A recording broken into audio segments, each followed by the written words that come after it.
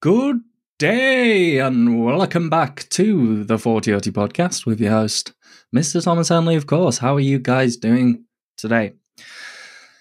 Not gonna lie, past few weeks been pretty rough for me. I've been going through some kind of weird mix of an autistic burnout and a period of depression.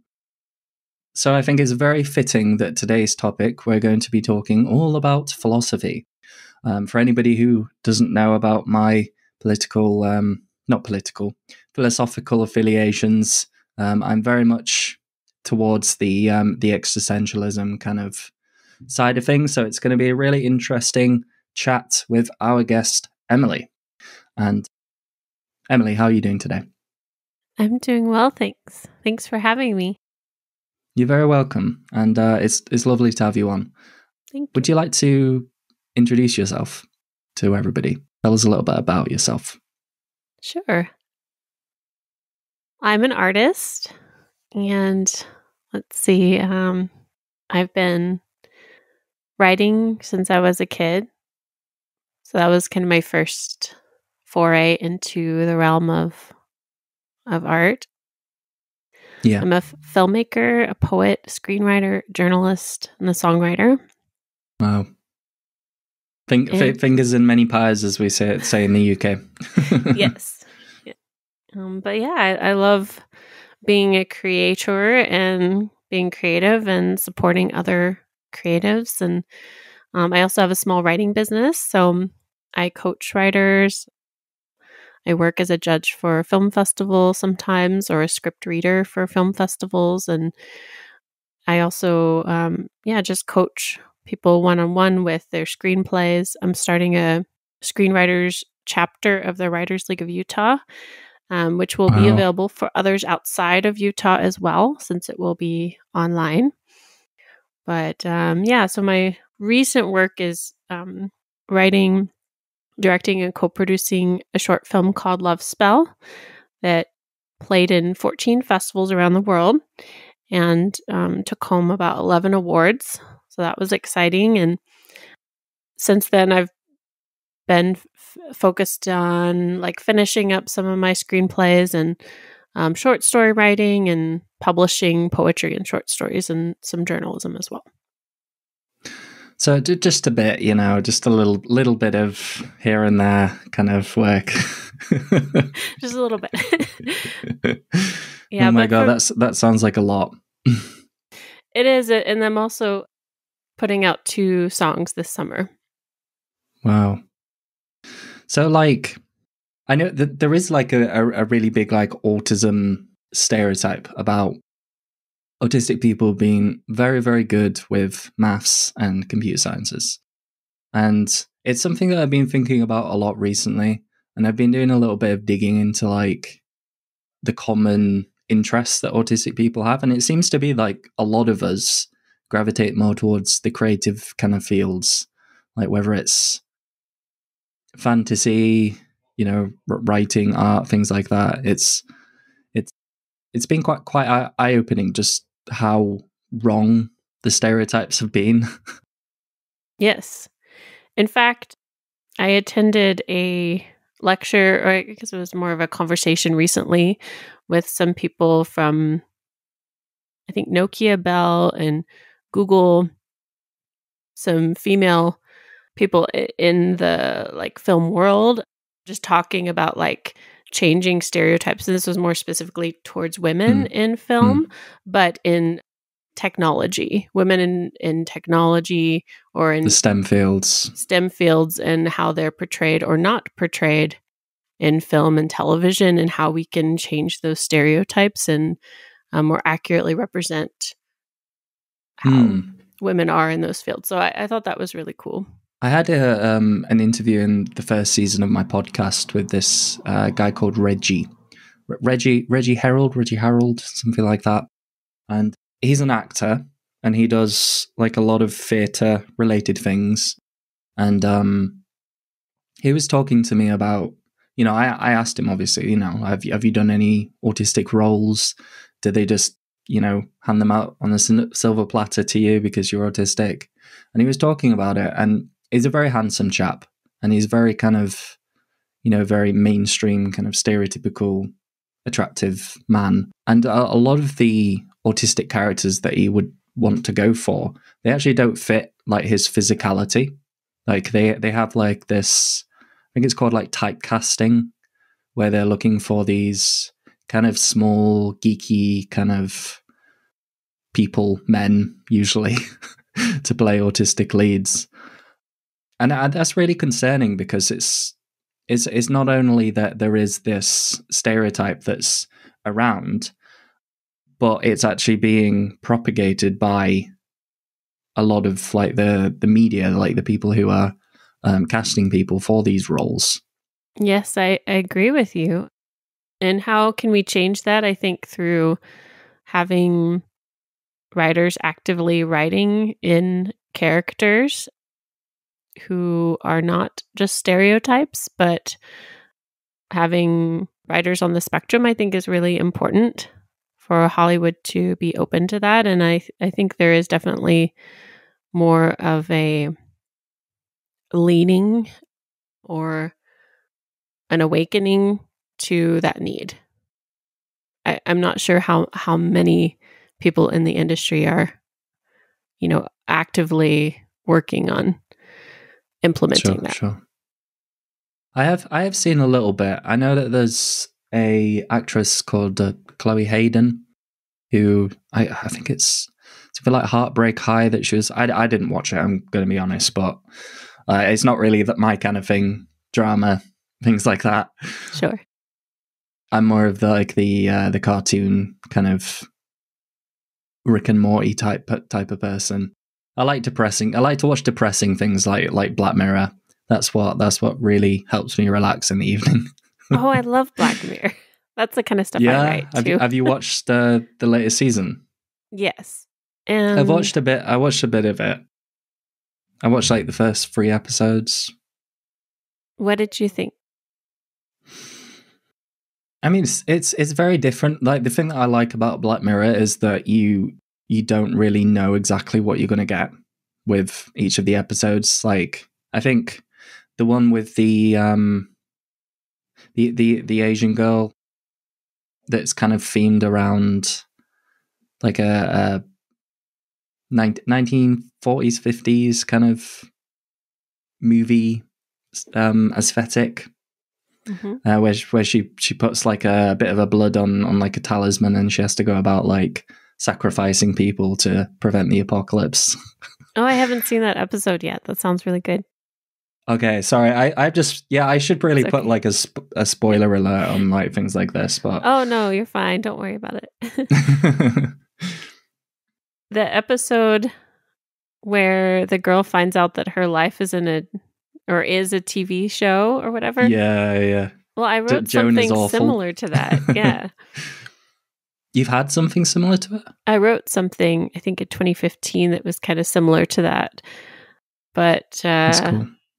yeah, it was kind of like a, she she had a job as an influencer, this character, and she gets like sacked one day. She just gets a letter in the mail basically saying that um, the corporation that she worked for you know doesn't need her anymore and everything has let her go but she doesn't realize they have cameras in her apartment and they've been filming other elements of her life that she does not want to reveal like what medication so she like takes the, things like the that. um small print on the on a contract or something exactly and then hmm. she finds out that they own her image but she's poor and now she's like sitting outside the shopping mall people walking walking by with shopping bags with her face on it but of course she's not making any money.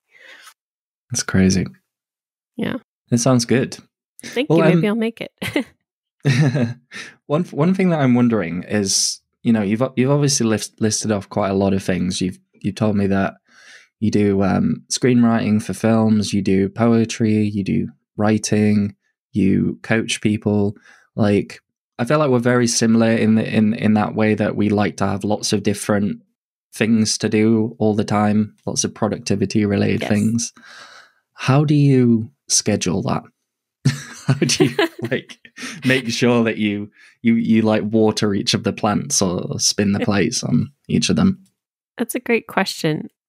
Okay, so part of my challenge being neurodivergent is that I really have a hard time scheduling specific times for specific things.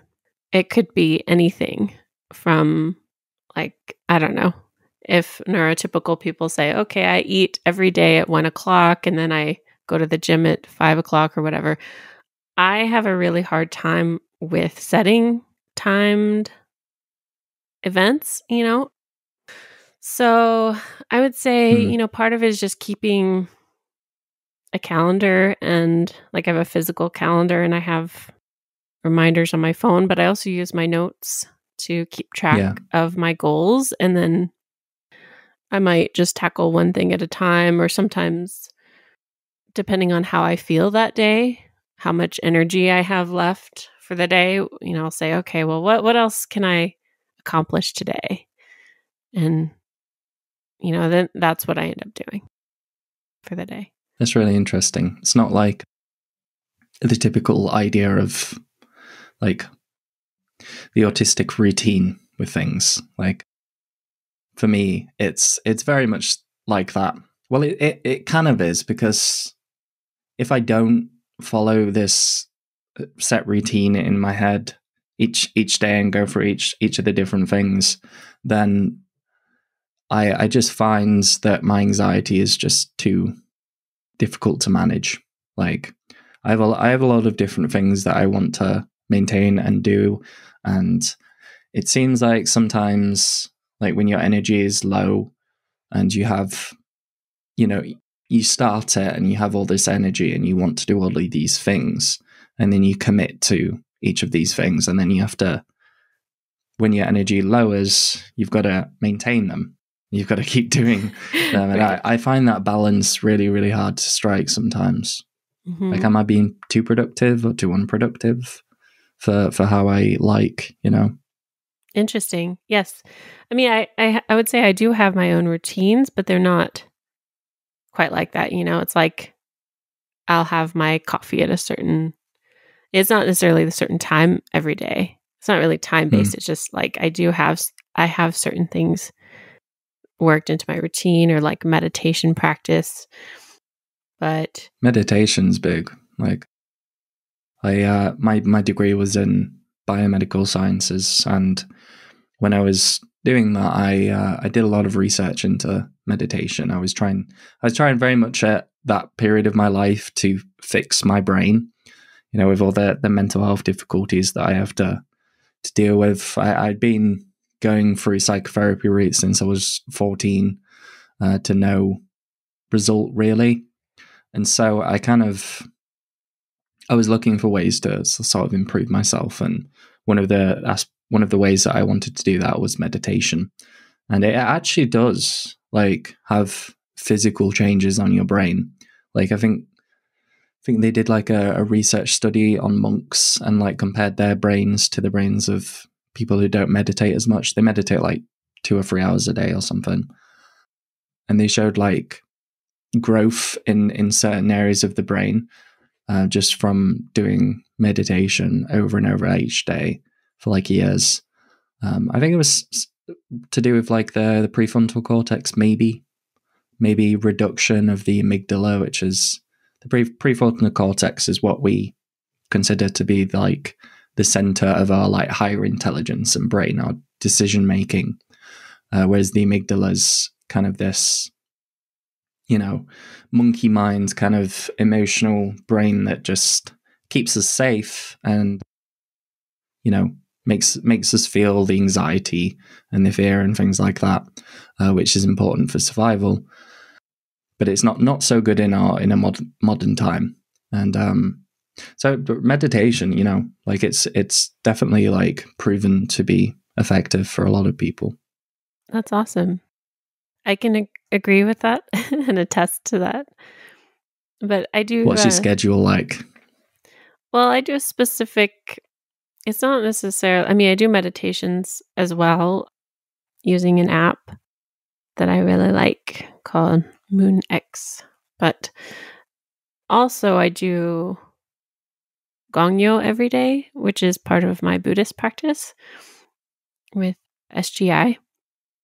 And I, I'm not familiar with with those terms. okay, so SGI is an organization that uh, began in Japan under Nichiren. And let's see if I can give you a little background on it.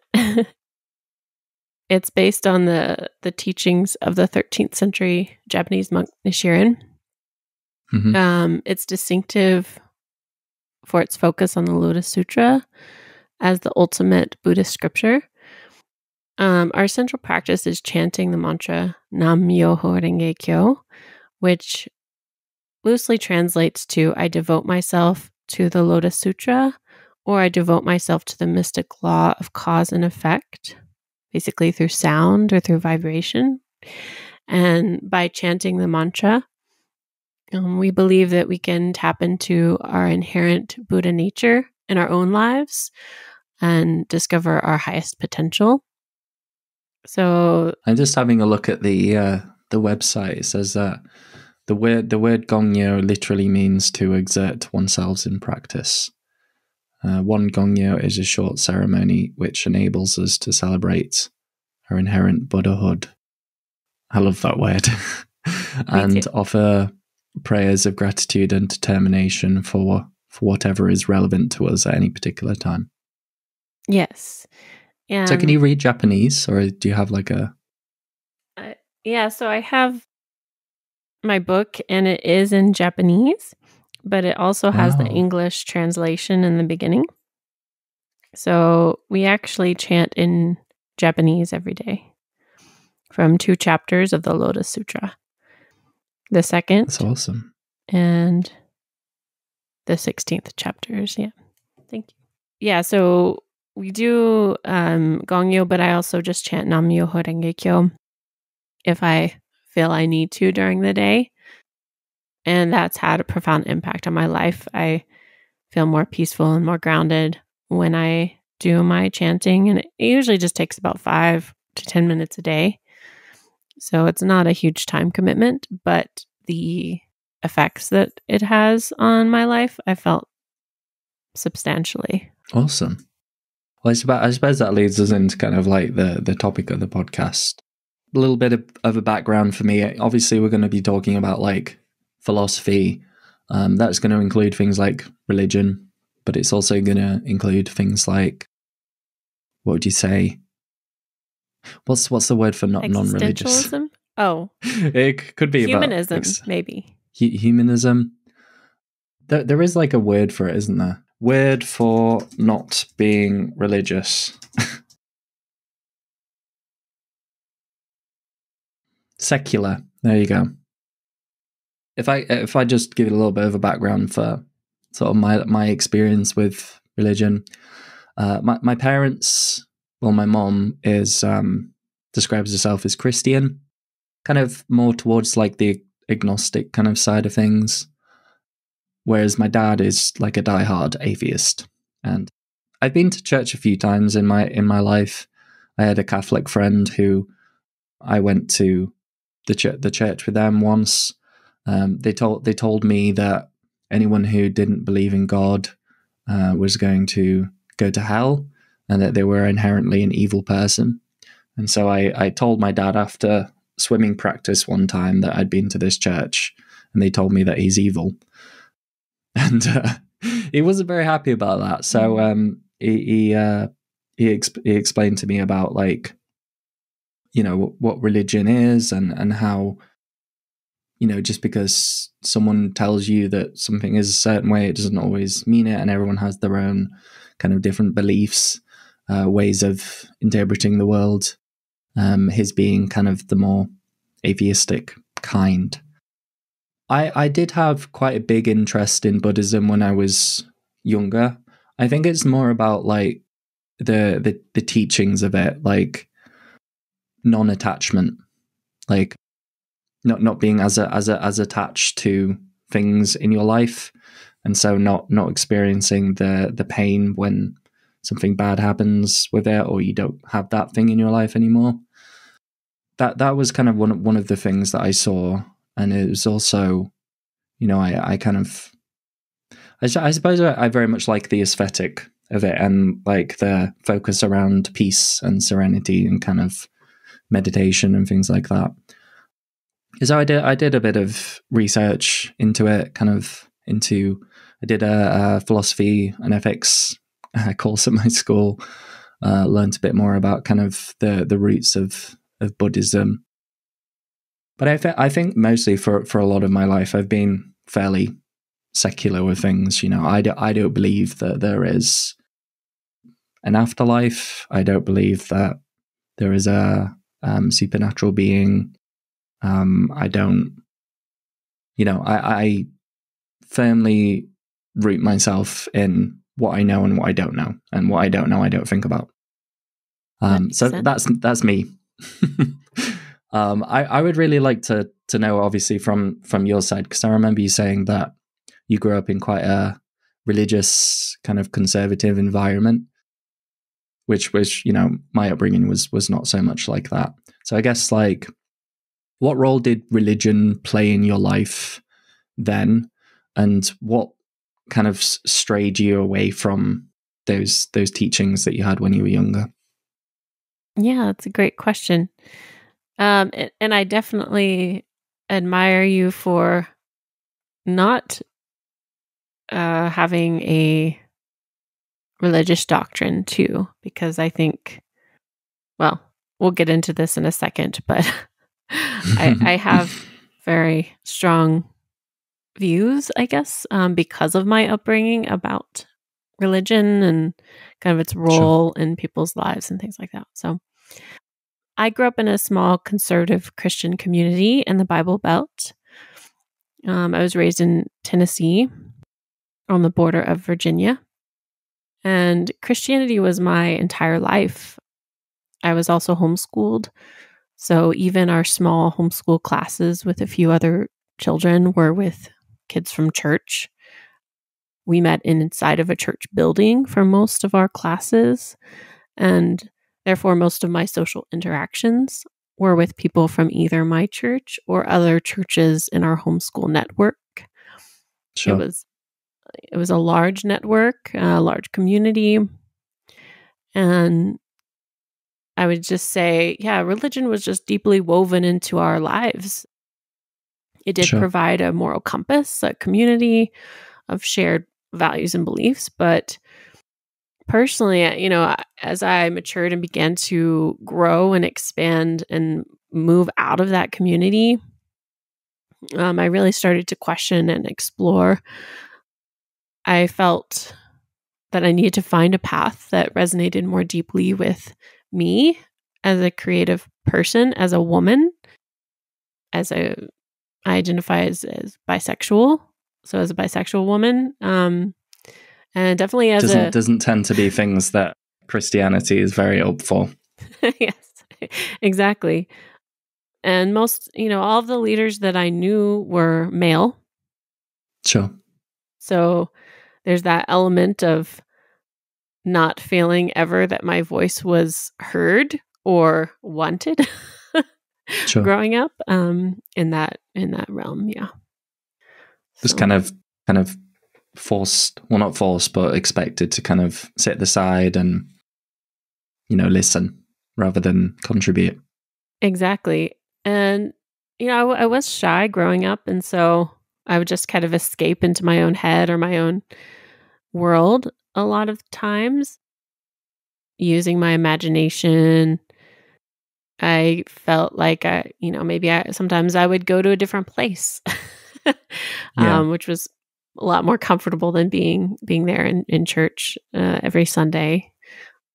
And then, yeah, you know, I mean, the the the other women in the community were usually in the kitchen, like cooking. When we would have like sure. church potlucks, they would be cooking in the kitchen and then the men would be out like discussing philosophy or whatever they did. But I just remember wanting to be around the men, yeah, not having yeah. any desire to be in the kitchen. Mhm. Yeah.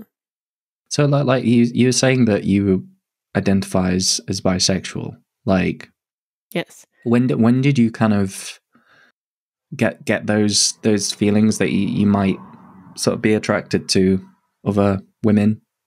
And like because because I imagine you know being in that kind of community where you're homeschooled and you kind of fed a lot of these um, doctrines and ideas about how you should conduct yourself in the world that it, it might be a, a little bit hard to kind of ac- accept those feelings. But like what what age did you kind of think about that or when did you kind of notice that you that you had that kind of attraction to to women Um, I think it was about 10 or 11 when I first felt like a physical attraction to women.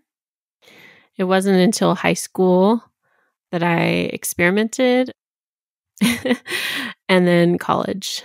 I had like uh, Sure. a girlfriend and stuff. So, yeah, but it definitely it took years of especially I remember one of my best friends growing up said, yeah, anyone who has sexual attraction to the same sex had um, some kind of deep trauma in their past. Yes. And so when I heard that, I thought, I was like, oh, so that's the explanation for my feelings. You know, it, it just, I don't know.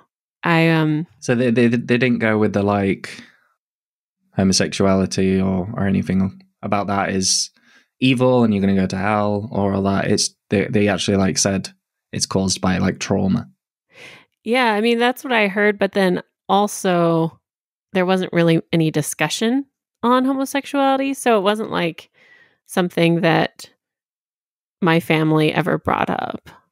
And there were certain things that were never discussed. And then later on I found my parents had these books about, you know, homosexuals are going to hell. And and I do remember that was something that my mom did tell me. oh yeah, she said, you know, homosexuals are going straight to hell and anyway, she said something else about the chain IHOP being bought out by two gay men and anyway, I just I, that was like the only reference to anyone who might be hmm. LGBT when I was growing up. And then I saw someone who I thought might be gay in the mall once when I was like 10. And I thought, I wonder how he feels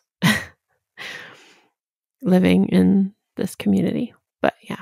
yeah like uh is is tennessee like a because i'm not very well i'm not very good with uk geography i'm not i'm not good with american geography like and understanding which states are what kind of political affiliation but i mean is it is it is tennessee like a, a really conservative state yes. yes Extremely. Okay. Yeah. Yes. okay They wanted to ban drag and things like that recently. So damn yeah, it's it's really unfortunate. Of course, hopefully, you know, I mean, th- things are. Well, I, I don't want to get too much into the politics of it now because it's pretty depressing, but I would say it's similar to maybe a state like Florida, where we Right. have really atrocious people and policies right Mm, now. mm. Sorry. Yes. I, I think I know what you're talking about. That's Mhm. um that's also been quite concerning for me. So obviously, you know, religion was kind of a centerpiece for your in your life, whether you liked it or not. I mean, what things made you stray away from it? Like, was there like a moment or certain things or people in your life that have kind of influenced? Well, no, I wouldn't say, like say influenced. I think that that kind of holds some like negative connotation. But I mean, influenced in a nice way, like opened your mind, maybe. Yeah, absolutely. Um so, you know, my faith began to waver when I started meeting people of different religious backgrounds. hmm And as I learned and this was mainly in, in college. I was also I went to a Christian college for my freshman year and I was actually bullied by some of the students and I felt kind of like an outcast and so that. what was that? I'm sorry to hear that. It's Oh, it's um, you. bullying and it's it's very it's very damaging, isn't it? Like it's it's difficult in the moment, but it also I think it really does hold a lot of like psychological significance, like going into adulthood and stuff. Like I know uh, there's still experiences that I my brain kind of travels back to in negative moments in, in my adult life where I'm like, you know, it really kind of affects me. I think I think a lot of my mental health came from from bullying as well. I'm sorry to hear that. And yeah, I mean, that experience really did change my view. I, I already had kind of a negative view of Christianity from my upbringing, but then on top of it, going to, you know, quote unquote Christian school where basically they were just very snobbish and Hmm. um I mean, obviously not all of the students. There were some good students there too, but in general, I would say. I'm s- I just- Did your cat cat come in to say hello? Okay, Do you want to pause it for a second and I can? no, no, that's fine. It Don't worry about it. Okay. Yeah. I, Foxley, get down, please. Sorry. She's she wants attention. Fair enough.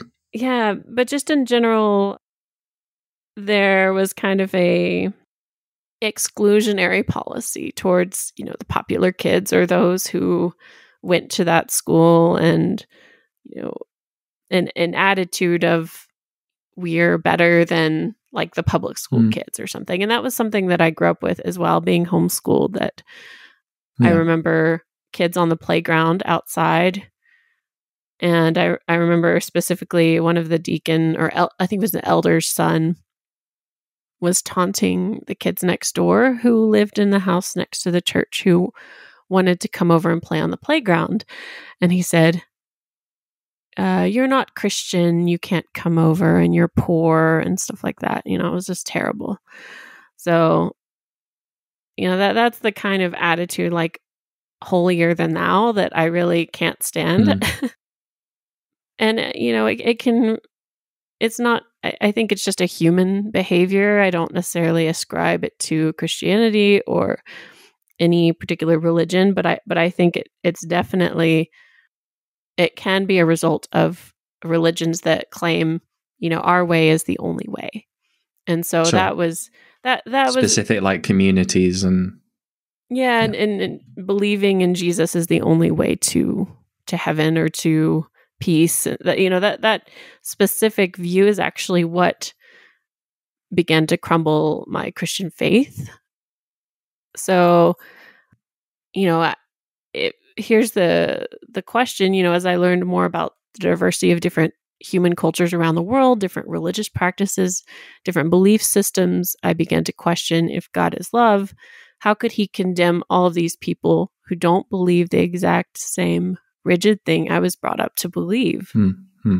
You know, these people didn't grow up in my tiny community in a reformed Protestant household, attending a reformed Presbyterian church. You know, why are that why are they wrong? So that question nagged at me for years and the construct of Christianity's so-called superiority began to crumble for me uh, as well Sure. during my college years as I studied different philosophies. I learned more about the world.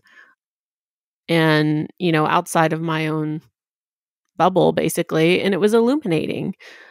Hmm. In college, I also read Jacques Ellul's work on universal salvation, which uh, deeply resonated with me. And he basically says, you know, if God is all loving and there is nothing that exists outside of God, then basically like hell doesn't exist and this you know if, if god says like i love everyone and you know we are saved through grace then the grace covers everything and it doesn't matter what sin you've done and so his concept There's a of- lot of like thing things contradictions and stuff with with like Christianity. I mean, just go, going back to my experience in philosophy and ethics, you know, that whole thing about God being all powerful, so he can they they can do anything, all seeing, they're aware of everything that goes on all the time, and they're like it's like om- omnipotent, omniscient. Oh, it's the omnibenevolent, I think. So all good, all powerful, all seeing. I think that that was the point at which I was like, you know, I, the, what two of those can only exist because if is all powerful and all seeing, it can't be all benevolent because there's a lot of horrible things that happen all the time.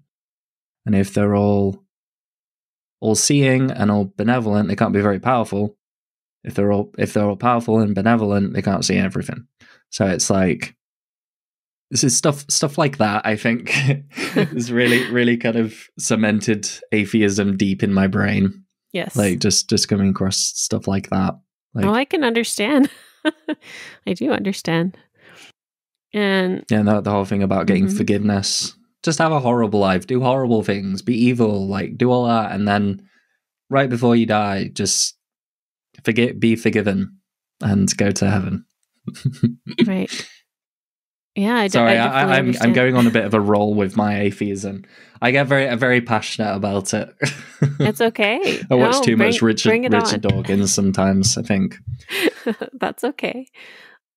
And, you know, I think that's why I really like Buddhism because a lot, I also believe myself to be more of an existentialist in Hmm. my own philosophical understandings and personal ethos. What does um existentialism mean? Just for anybody who who doesn't doesn't know.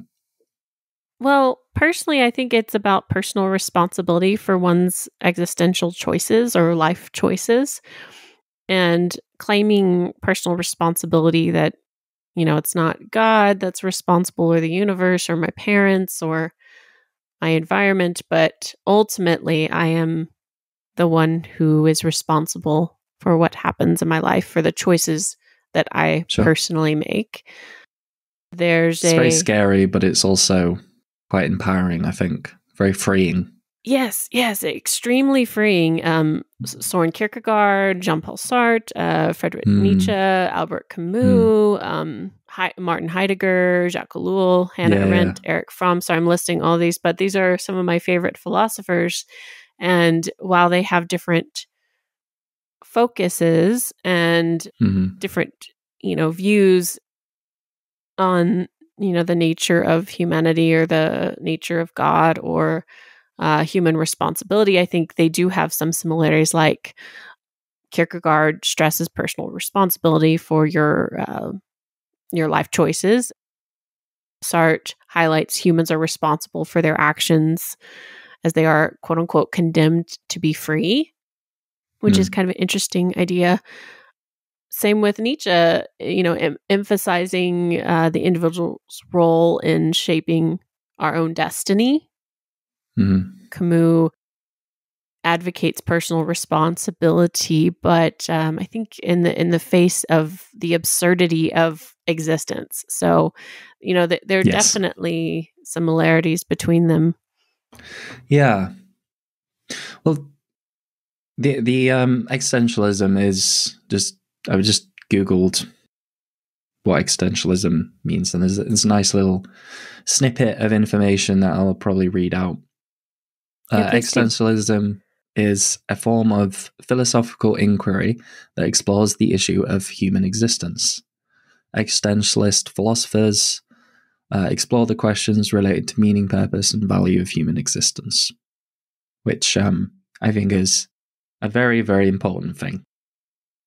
I did my my ears picked perked up when you when you talked about Nietzsche because um, I think for for me, I've I've always had a, a vested interest in like philosophy and um, and ethics really, but it's I've never been particularly like studious about it. I think for a lot a lot of it for me, um, when I went through my my sort of four or five year long um, period of time where I was kind of writing uh, about my own personal experiences, thoughts, and and, and feelings behind things. Uh, I actually kind of came to came very very close to the the way that like Nietzsche went with the whole the whole concept of like nihilism and things like that. Like I I've had a lot of experiences in my life where I've had pretty horrific existential crises where I could no longer assign any meaning to anything in my life. I think there was a long period of time for like a month and a half where I didn't do anything and I just kind of didn't see any point in in anything and I've I've had periods of time like that as well and even situations where I kind of experience something and it's it's almost like my my eyes kind of zoom zoom out. Like it's the opposite of like tunnel vision. And I kind of you know remember again about you know what that that feeling was like. And so I think you know ob- obviously I, I, things like depression and and negative life experiences ob- obviously lead you to seek some kind of clarity and certainty about the world. And you know for, for me that that that was definitely the case.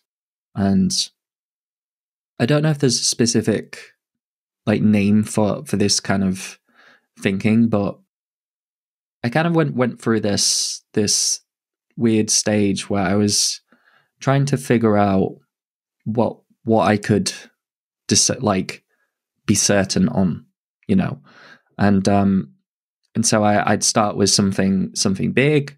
I was like, right, I, I I want to be to be good at taekwondo or something because that that's meaningful to me. And I kind of go down and uh, you know what underpins that, what underpins that, and what underpins that, and um, it eventually just kind of got to a situation where, you know, I was contrasting all of these thoughts and experiences that I was having with my knowledge of psychology, with my knowledge of biology, and the, the fact that I am a secular person. And I was kind of, I kind of came to the the conclusion that there wasn't really anything that I could know for certain about anything. If if I actually thought about it in the level of detail that I did, you know, like Sure. Just just just the physical act of thinking you know you're you're using a biological physical organ to think. Like there's obviously going to be particular biases from my experience in biology that prevent me from like thinking outside of that.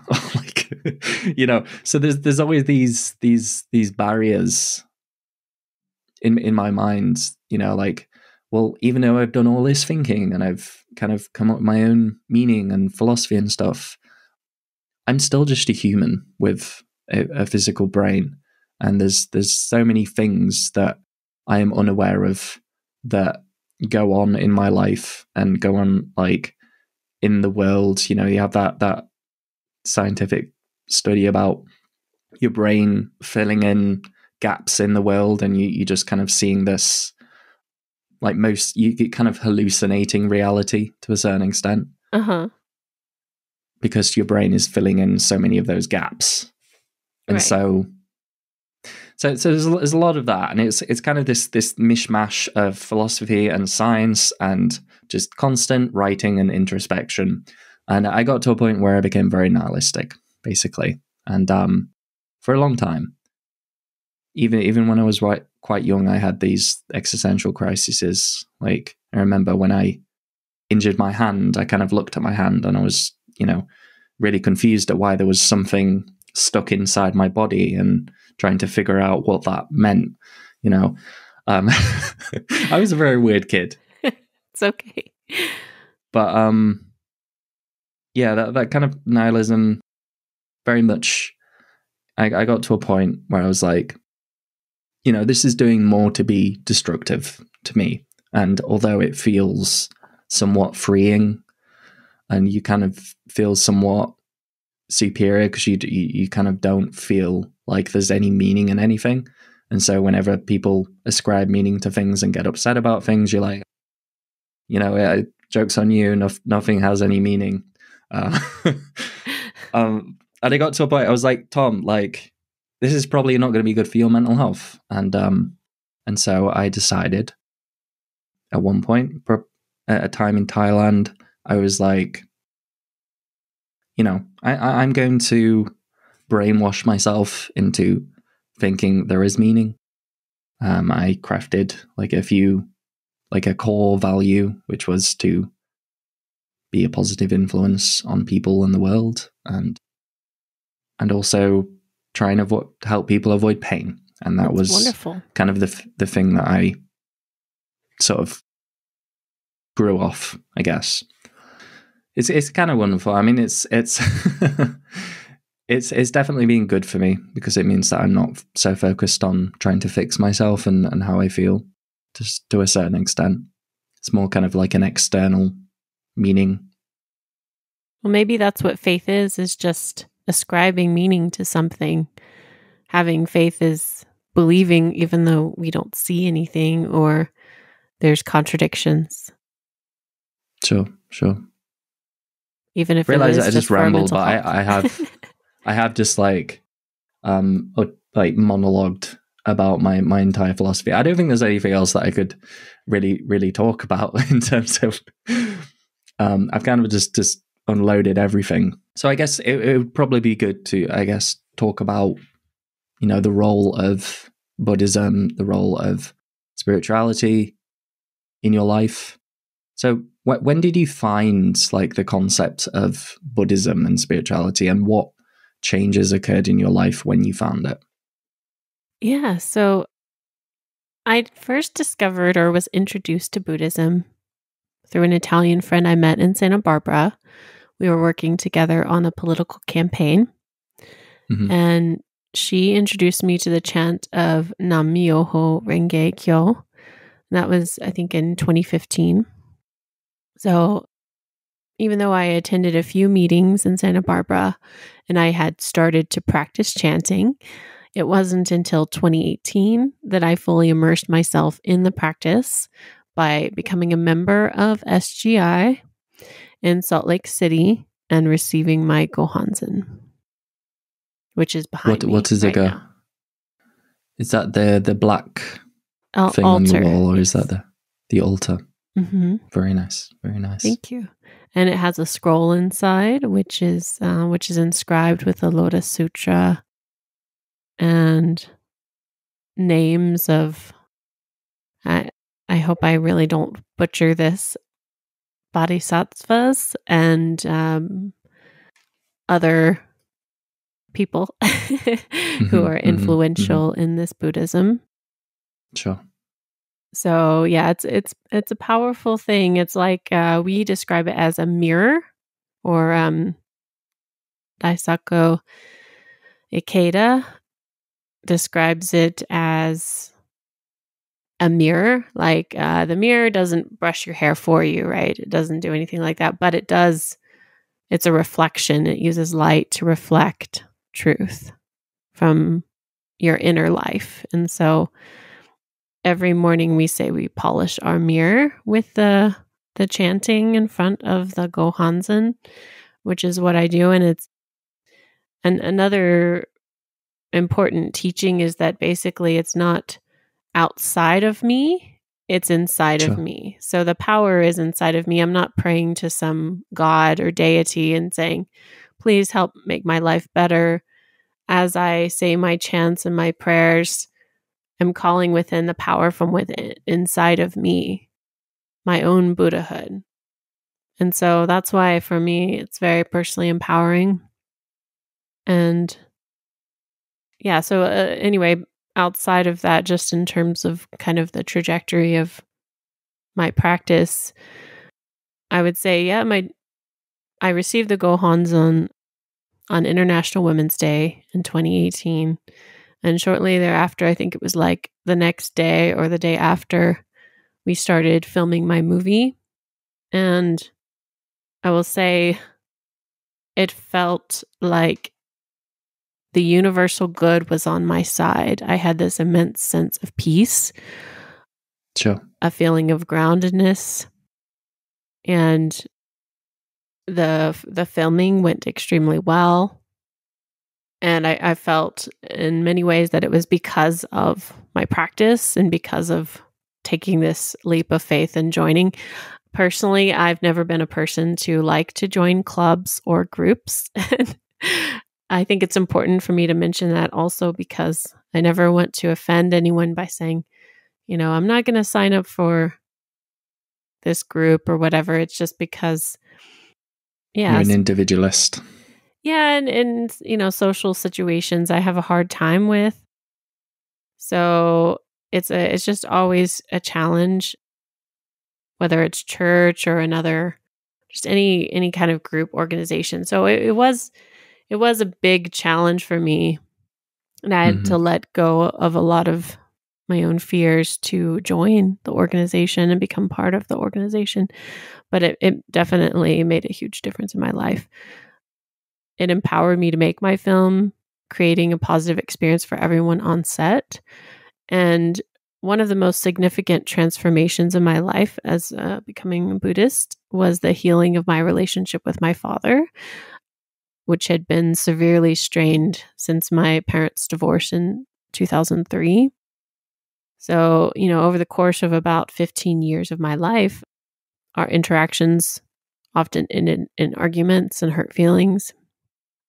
But I would say that the the teachings that I obtained from my Buddhist practice helped me develop compassion for my father. And I started to see him not just as my parent, but as a human being with infinite potential who had known great that's, suffering in yeah. his own life.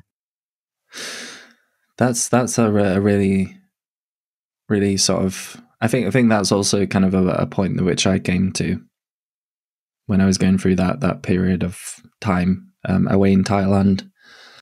I did like like like you. I kind of got to a point where I was like, okay, so my dad's my dad, my mom's my mom.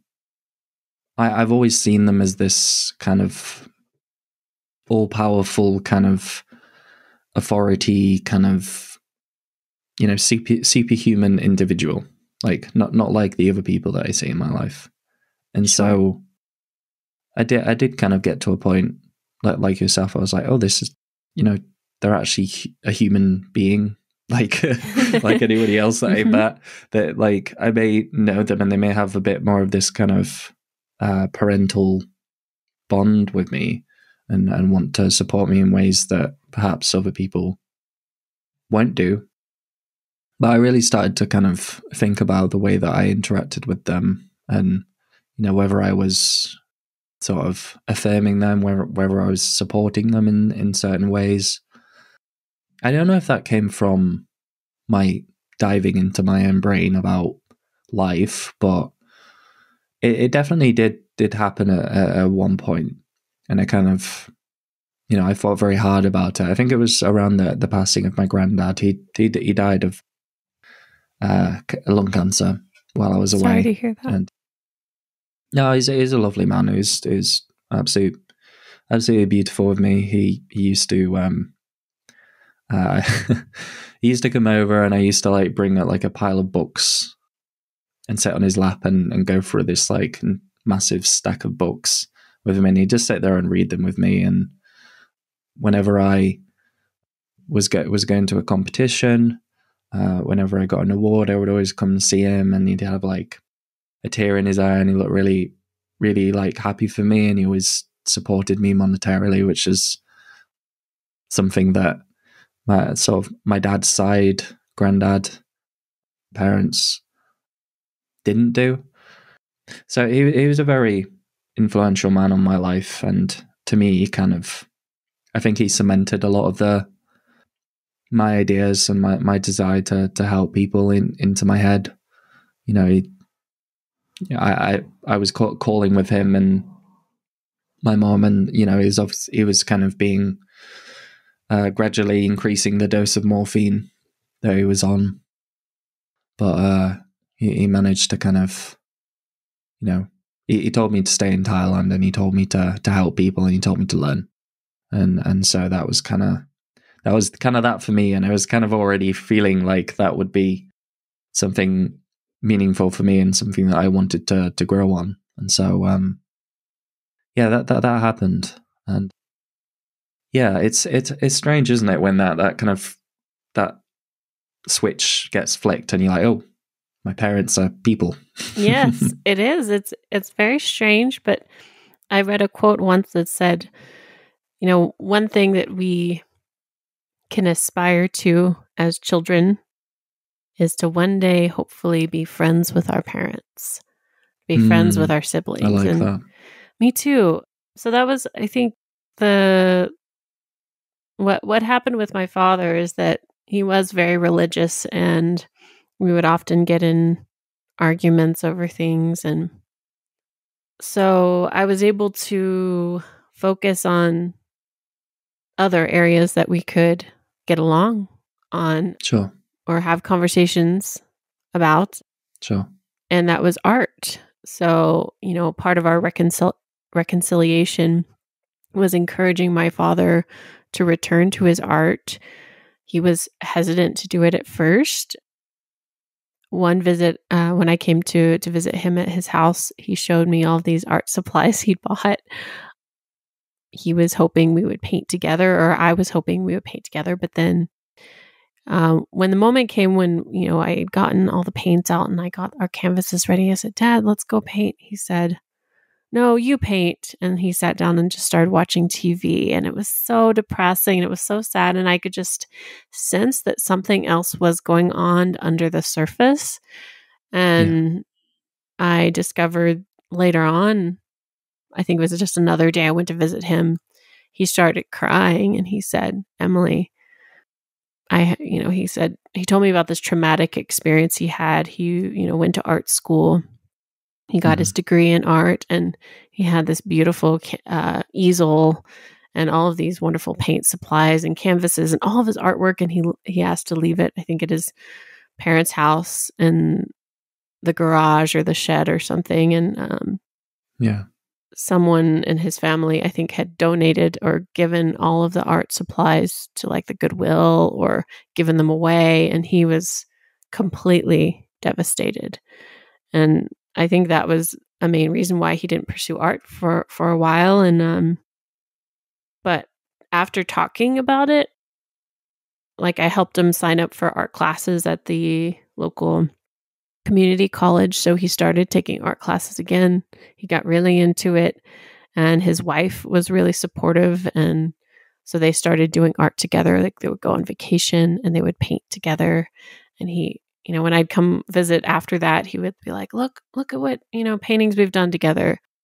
They've revitalized the uh, the passion. It can, it can be very difficult when, like, I think it's probably an experience that a lot of autistic people have just in general about, you know, having these passions just kind of squashed by people in your life. It can it can really like, you know, people ascribe a lot to what you do and what you're interested in sometimes. Like, and it's um, it can be quite heartbreaking when you know it's something that you do a lot and it's kind of like this central part to your well a part of your identity that you, you do this kind of thing.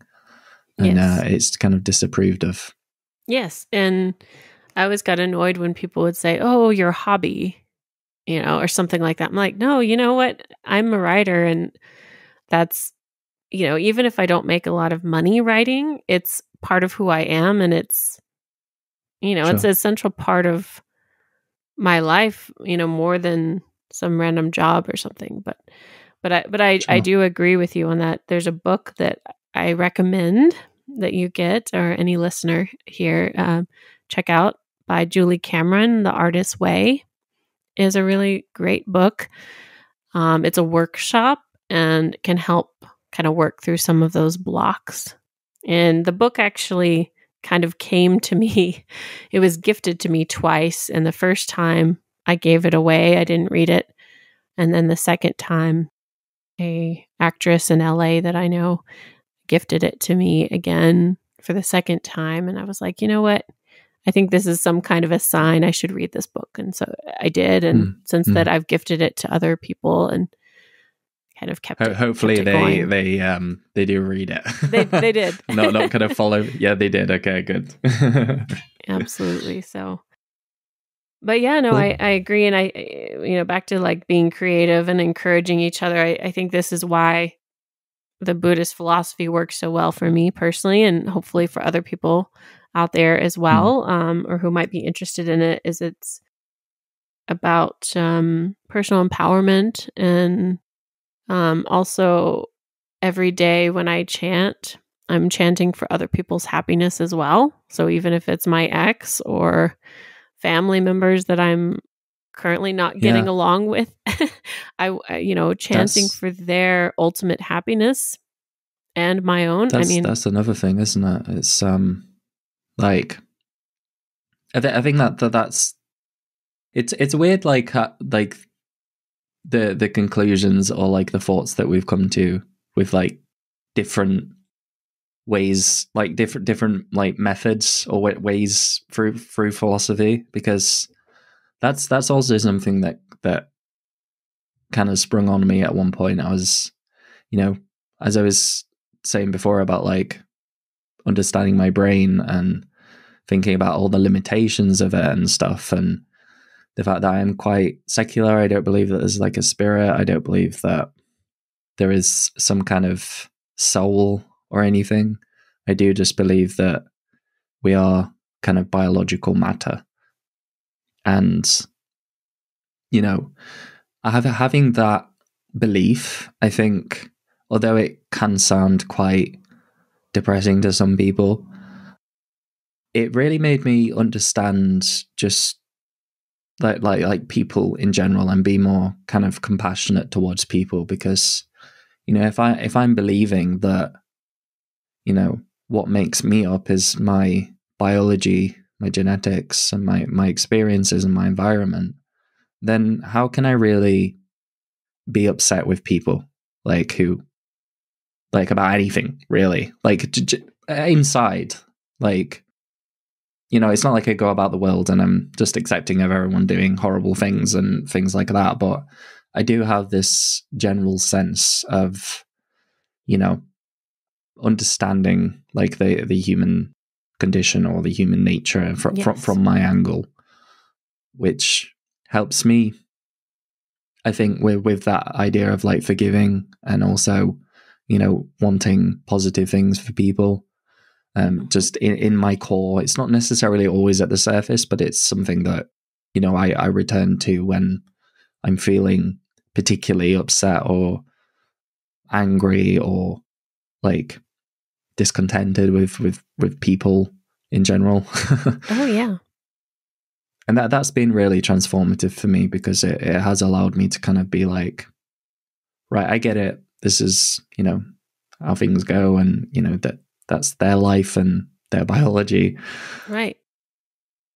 And so so I have a bit more kind of compassion for for for people despite what they're like with me and despite what they they, they, they do, I guess. Mm-hmm. That's great. And you know, I th- I think there is more of a connection between our views than one might think in the sense of you know maybe even spirituality is just science we haven't figured out yet Possibly. Because I'm definitely you know, open to that. I am much more, you know, I do believe in a soul and spirit and um, universal energy and everything, but a lot of it intersects with physics and with um, hmm. theories, you know, scientific discoveries that we are learning about the nature of the universe and I mean, you talk about biology, but even biology is extremely complex and, you know, matter is extremely complex. So I, I think, yeah. you know, what you're saying is absolutely vital and important. And even, even if one only accepts, I don't say like the, the correct word for it, but more more of a atheistic view of things. I i still in my opinion believe that atheism is highly spiritual in the sense that humanity is incredible or being human or mm. being of the world is something remarkable and mysterious. I mean i took the, the like the big 5 personality test thing. It's like one of the the only kind of it's they use it in a lot of psychological studies and things like that to understand people and the world and the best kind of putting personality into boxes. Not always the most like tasteful for a lot of people to use, but I'm very high in trait openness. And I think my kind of stance on things like that is that I'm not I'm not actively wanting to disprove things in, in that way. Perhaps things around very kind of you know, particular particularly kind of religious doctrines and, and things like that. But in terms of, you know, spirituality and stuff, I'm I'm very open to talking about it.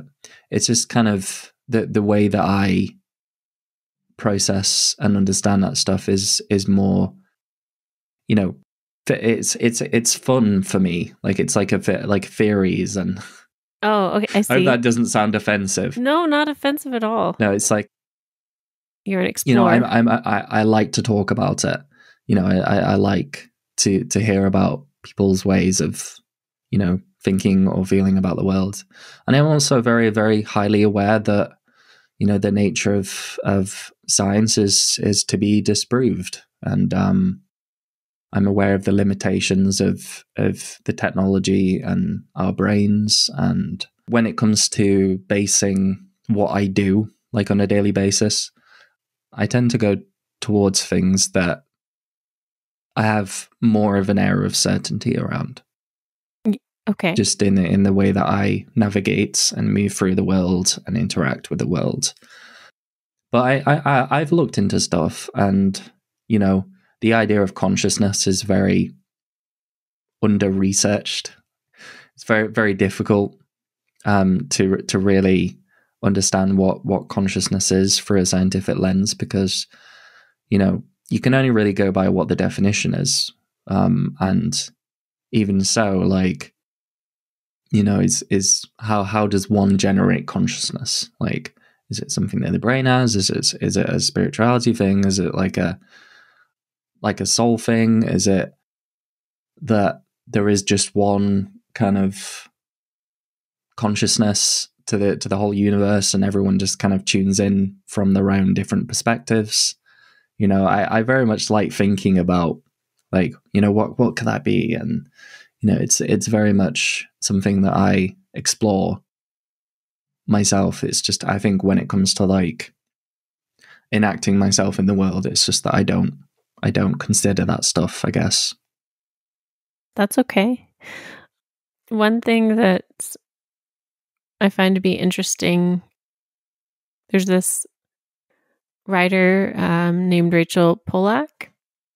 Mm-hmm. She has a book. Uh, so you were talking about like the big five personality tests and things like that. I use astrology for a similar kind of effect, getting sure. to know people, things like that. But anyway, this particular book is about tarot and mm-hmm. she she talks about she has, it's very interesting there's a chapter where she refers to specific work or specific studies that Carl Jung and Wolfgang Pauli decided mm. to to look at in the 1930s and I think it was a study of meaningful coincidence or what Jung terms uh, synchronicity. Hmm. I've and heard that term. What was that?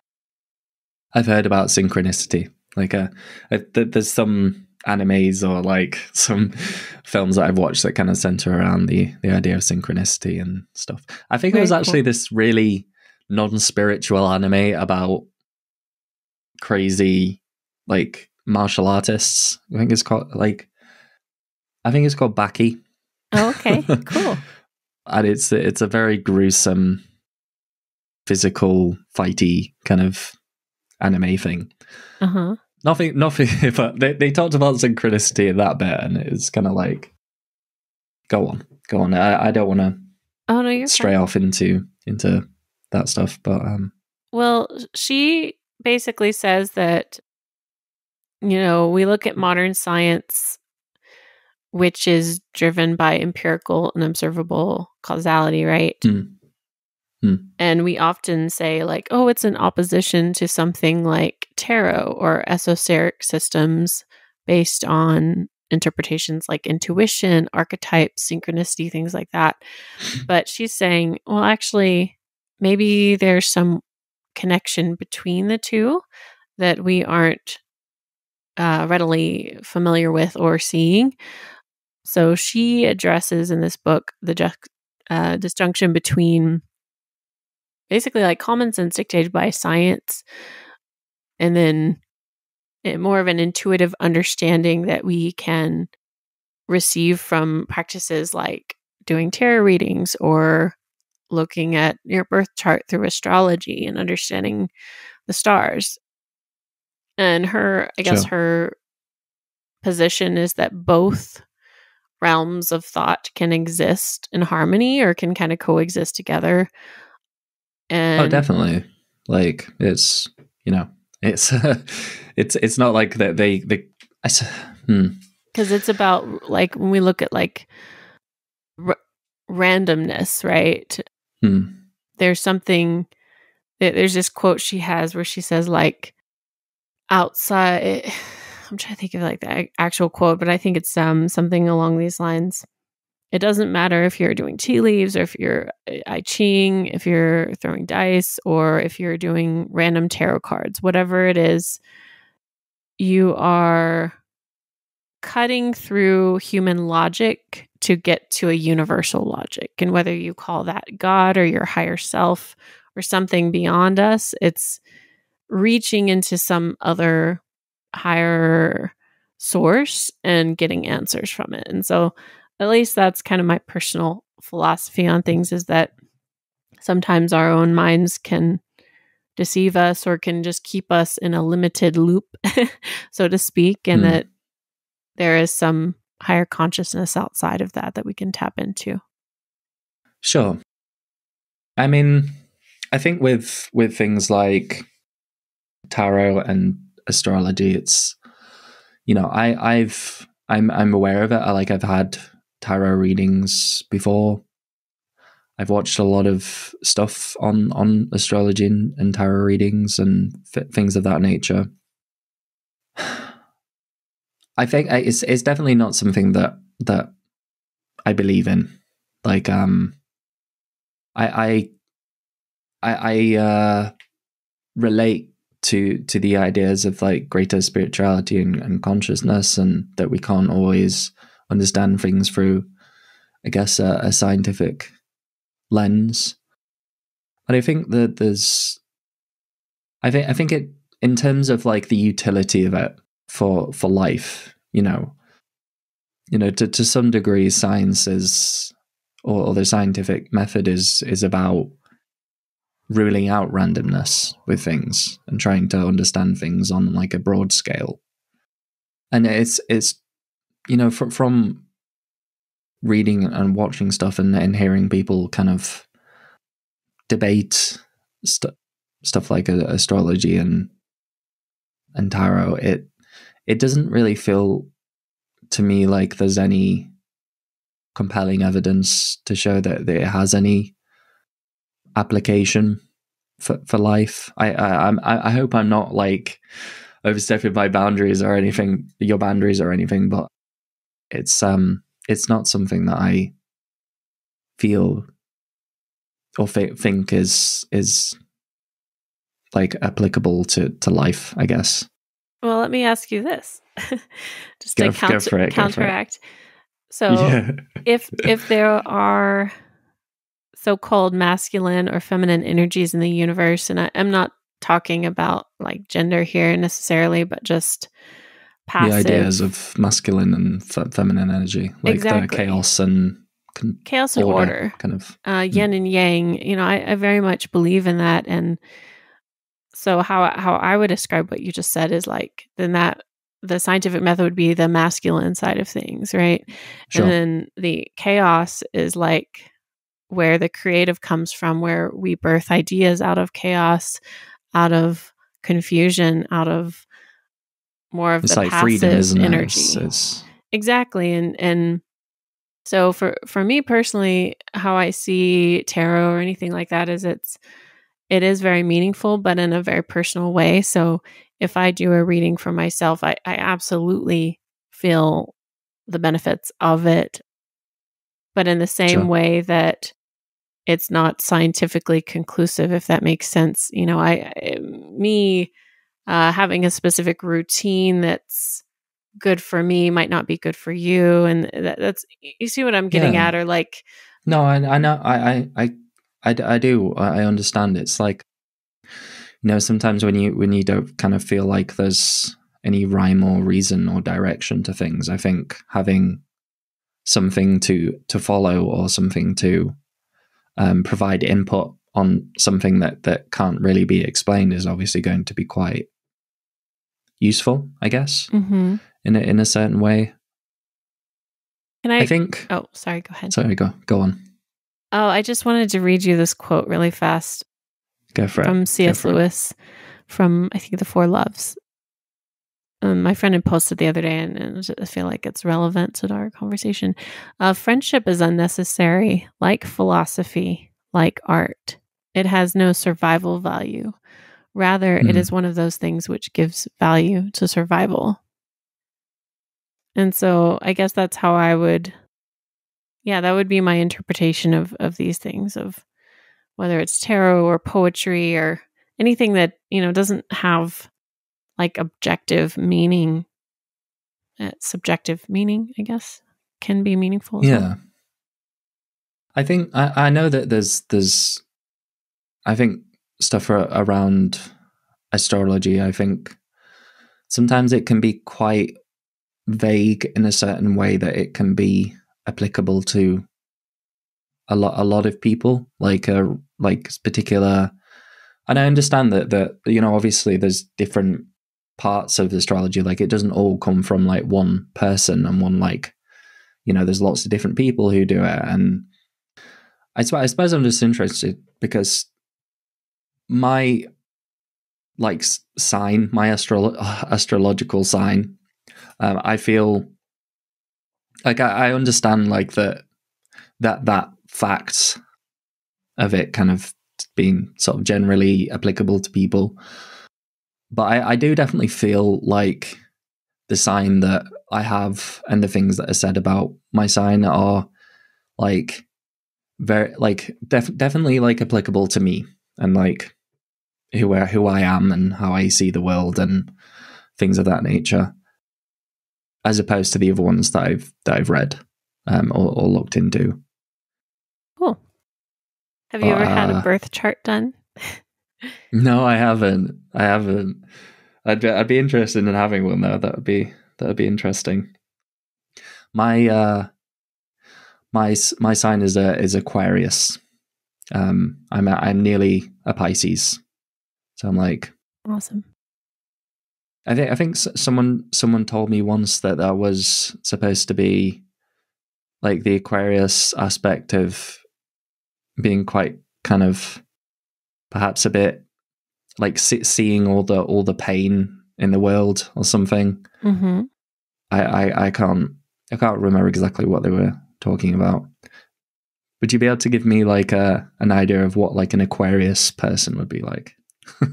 whether whether it's something that I would I would say very philosophical, thoughtful, kind-hearted, perhaps attracted to someone's mind first upon meeting them, and a nurturing person, someone who is supportive and cares about others, maybe a natural storyteller.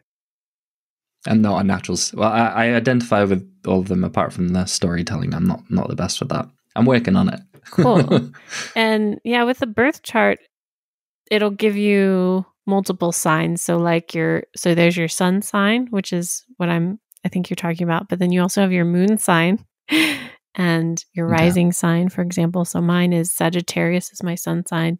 My moon is in Gemini and my rising sign is in Virgo. And your rising sign is how other people perceive you when they meet you. So Virgo right. I'm like very much attention to detail, uh, sure. with that, it would make me a good editor, for example. but Sagittarius, my sun sign, makes me like the ambitious philosopher who loves to travel and is an adventurer. So, Mhm. you know, there it's just kind of like the dichotomy between the different ones.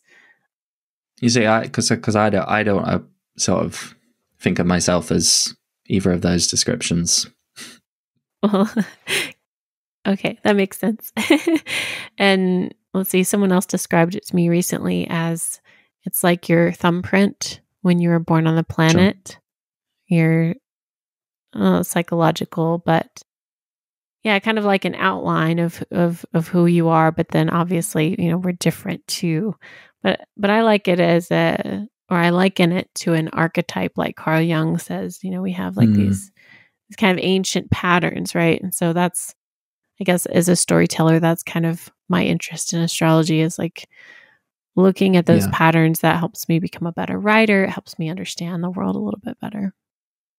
Yeah, I, I I have looked into kind of like the archetype stuff, and I think you know the the archetype of like the hero. I think is is something that resonated with me.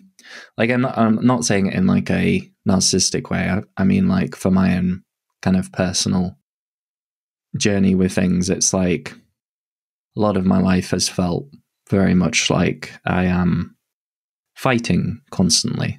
Like I'm you know, fighting to to to to help people or pr- protect people in in certain ways, and um, you know, taking on the burdens of things in in my life.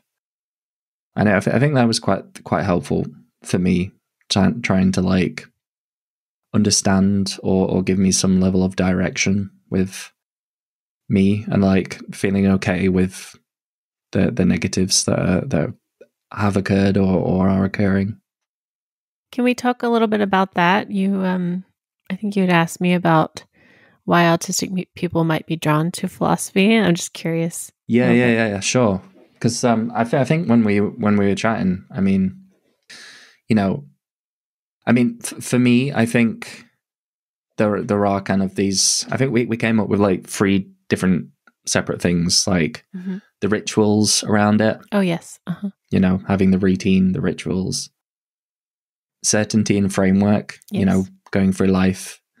It's very important for us to understand things and the things that are not so easily definable and certain, like social interaction, Right. understanding people and emotions, tend to be a bit harder for us. And then, you know, last day I think we were saying about like the interest or like the special interest of understanding like the complexity of life and stuff. So, which which one would you want to talk on? Maybe let's see. The first was rituals. The second was Certainty and framework, framework is interesting to me too. Mhm. And then what was the third again? the interest in the complexity of life. Yeah, the last two, I guess. Yeah. Last two, go for it. Oh, for me first. Okay. Hmm. Well, I mean, I guess I could just speak to me personally. And and my brother is also on the spectrum. I think my my father might have been as well. Got those genetic Yeah. genetic ties. yeah, I asked him actually. My brother and I both asked him. We were like, "Would you ever go get tested?" And he just smiled at me and he was like, "No." I'm like, okay, I'm still working on it with my dad. He's kind of he's open with it at this point, but um, that's great. he's not, he's not got any like drive to go get a diagnosis. He's you know he's in his fifties and he feels quite stable in his life. He doesn't really have any issues, so it's understandable, I guess. That makes sense.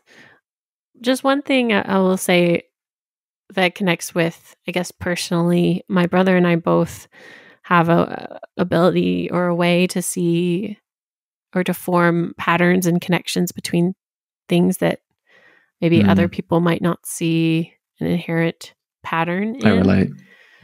You relate to that? Cool. Yeah, it's the whole pattern pattern recognition stuff around autism. It's it's very um very interesting. So that lateral thinking, I think. Okay. There's some people define it as like thinking laterally between different concepts and things and making connections and all that. Interesting.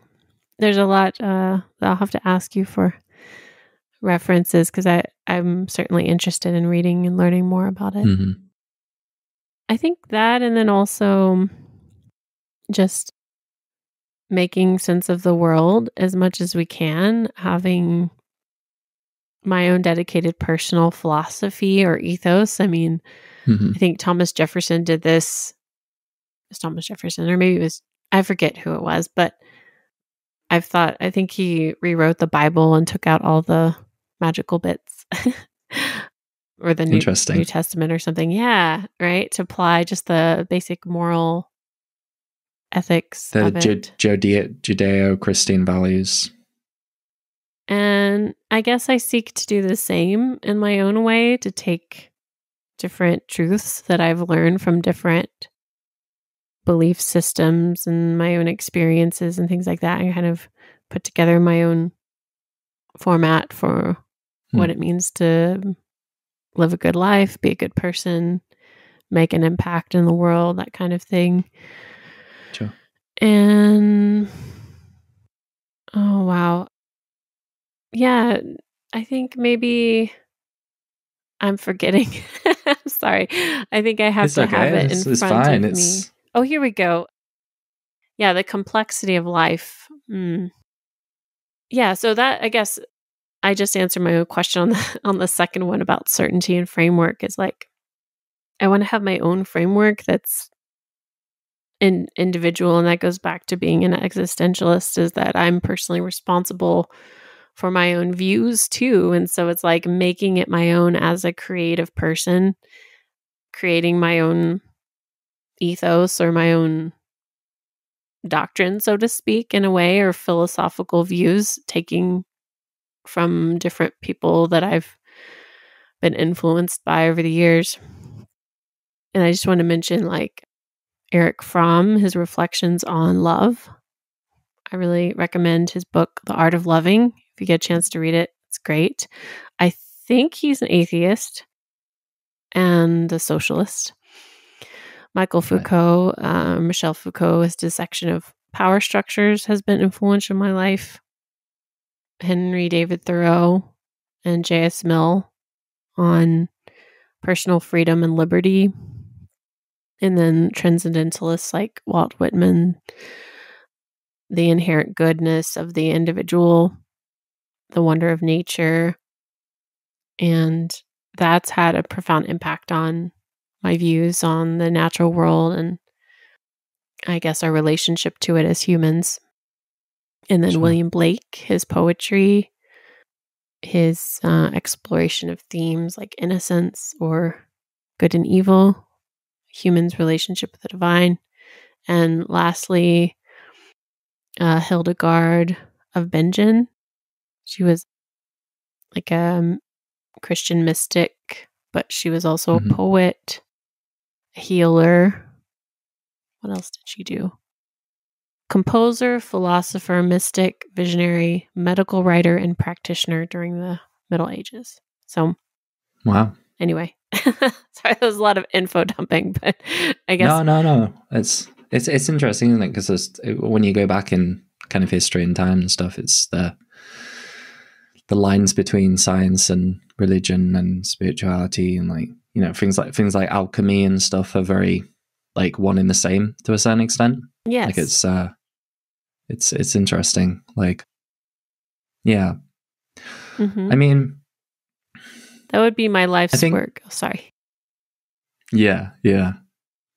I think philo- philosophy for me is is definitely it definitely came out of my my experiences. You know, as you said, trying to trying to understand the world, why why things were happening to me and other people that that weren't good. You know, going into in, into philosophy or or at least just thinking about life in, in solitary on my own. It was important for me because you know I, I felt very much like i was you know out in the water. Like i didn't really feel like there was any rhyme or reason to anything and it was very very difficult to i guess withstand the negatives that were happening in my life without having some kind of guided understanding of things or certainty around certain things. So that's that's definitely why I I guess gravitated towards philosophy. I don't have any particular rituals that I do. I know that you know the the whole idea of autism and routine Some sometimes having rituals allows you to have a set time in the day to I guess think or feel or, or do a certain thing which is positive for your for your mental health. I'm just thinking about it now. I, I think I probably do have some rituals that I do, which are not like I had something in my head which is just completely flown away. Do you have any nighttime but, um, rituals or anything, or morning rituals?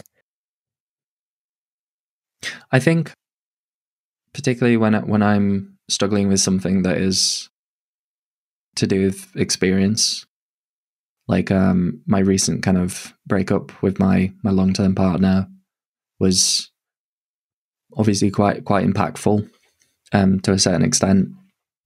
You know, for for me, my my my rituals come in like where where I put my emotional energy, like when and where. Like I give myself time to think about certain things. So, you know, I set a time, particular times in, in the day, or sometimes when I'm going through a lot of emotional turmoil, where I'm sort of dividing my my my thoughts or my or my feelings. You know, you, the the idea of processing things and processing events and emotions and stuff is very important, and it's something that you you kind of need to do.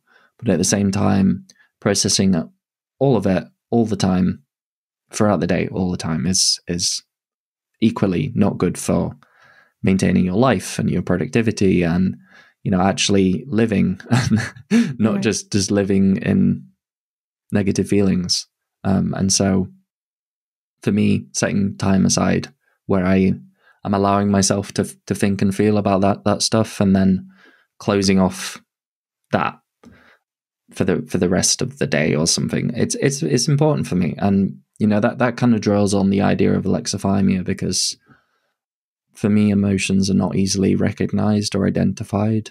Used to be a lot worse. Nowadays, it's a bit easier. Um, but actually leaning into possible feelings or thoughts that I have um, helps me be aware of what I'm feeling and, and helps me kind of connect my feelings to certain events or thoughts, which I, f- I find very, very helpful. You know, I might play some emotional music which is related to it, and good. You know, I think I think that's that that could probably be some some level of a ritual, I guess, with with things, and it's been very helpful for me. Sounds like it. Sounds like a good ritual. And it's in, in terms of philosophy or philosopher, you know, I think um, the idea of positive nihilism resonates with me probably the most out of anything I do. Very much like all the existential stuff, and you know, obviously Friedrich Nietzsche, the father of nihilism, is quite a, a big impact on me. Um, I've read a few books. I'm very I'm very bad with names and people and describing what people have done and what people have said to to their names. Uh, but I have read a few books, and there was one called like the Existentialist Cafe, which was quite interesting for me. Awesome. Um, it's kind of getting all of these philosophers together and having them discuss things, and yeah, it was it was really really really interesting. I'm very aware of the time, and I, I know that you probably have a lot lot of different things to do. Uh, it's getting quite late for me. I probably have to have some some food to refuel my body after after my gym workout earlier. So, I guess I guess try, trying to round things up. I mean, yeah, of course. Usually, the, there is a segment to what I do. It's it's called uh, Song of the Day. Should really be called Song of the Week because it is a weekly podcast. But hey ho, um, it's today today, so it is the song of the day today. cool. Um, do you have a, a, a song that kind of either means something to you or I guess relates to the topic of the podcast that you'd like to add to the the growing Spotify playlist? Sure. I like Peace Train by Yusuf or Cat Stevens, as he was known before. And I did want to ask if I could read a short quote from a poem. Yeah, go for it. Go for it. So the poem I found it's actually it's actually in Daisaku Ikeda's book, The Heart of the Lotus Sutra, about Buddhism, but but it's also one of my favorite poets that he quotes. So one self I sing. With these words, Walt Whitman begins his paean to humankind. Leaves of Grass. Whitman, his words full of strength and conviction, sings In all people I see myself, none more and not one a barley corn less. I know I am solid and sound. I know I am deathless. I know I am August. I exist as I am. That is enough. That's a beautiful, beautiful string of words.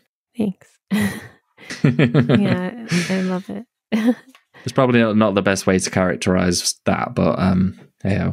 The poem, yeah, yeah, a beautiful string of words. No, it's um, I think w- with a bit more time to kind of digest and feel that I, I I very much like poetry. I think it's if I had more time in my day and life, I think I would definitely want to pursue more of the the arty side of life in the, in that sense.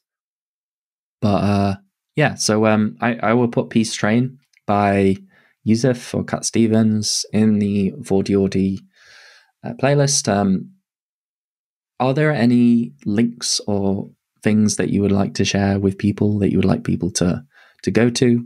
Uh, anything that you Sure. On all the social medias and things like that, it's just I go by my full name. So Emily Robyn Clark on Instagram. Sure. Emma Dream Music on Instagram is my musical name, my pseudonym. Mm-hmm. And then also the IMDb and what else? My website is just emilyrobynclark.net. Cool. Yeah. Do you have a link tree? I do. You do? Okay, cool. Uh, well, I, I will put the link tree down in the comments of this video, whether you're on YouTube or whether you're on any of the podcasting streaming services. Thank uh, you. you can find that below alongside my personal link tree. Uh, if you want to help support the podcast, the best thing that you can do is rate it on any of the podcasting streaming services that you are using at the moment. Uh, give it a follow um, if you want to get updated about new podcasts that are coming out. Uh, I tried to get them out over on, on Monday around about 5 a.m. Uh, British Standard Time now. So, and if you, if you also want to stay up to date with the work that I do, uh, you can head over to my Instagram at Thomas Henley UK, where I do daily blogs, uh, reels, things of that nature, and also updates on on the podcast and how things are going. So I definitely encourage you to go check that out. And um, if you are on YouTube, make sure to like, uh, give it a sub. Same same thing as the follow thing. If you want to get updated about things that are happening, absolutely. I love your comment podcast. down below. Thank you. so yeah, go check all that stuff out. Uh, sponsor of the podcast, D-Buds, is also in the link tree if you want to get 20% off. Uh, very special link for the Thoughty Auti listeners. Uh, really great noise um, reducing earbuds that you can adjust. Kind of like loop, but uh, a little bit different, and they've been really helpful for me in situations where I'm not wearing my noise cancelling earbuds, where they've gone out of charge or something. So, yeah. Last question, Emily. Have you enjoyed your Thoughty Auti experience? Absolutely. It's been amazing. And I've been listening to your podcast before I go to sleep at night, by the way. oh, that's awesome. I, I, I really okay. like to, to hear stuff like that because it's it's I think sometimes as a creator it's kind of you kind of feel in a, a, sense of isolation or like you're just producing stuff and it's not really doing anything if yes. that makes sense yeah. until someone tells you about it so it's um it's thank you for that you're welcome I've been learning a lot too so thank you awesome for your awesome. work and uh, with that, I hope you all have a very lovely day, and I will see you next week. for another episode of the 40 podcast. See you later, guys.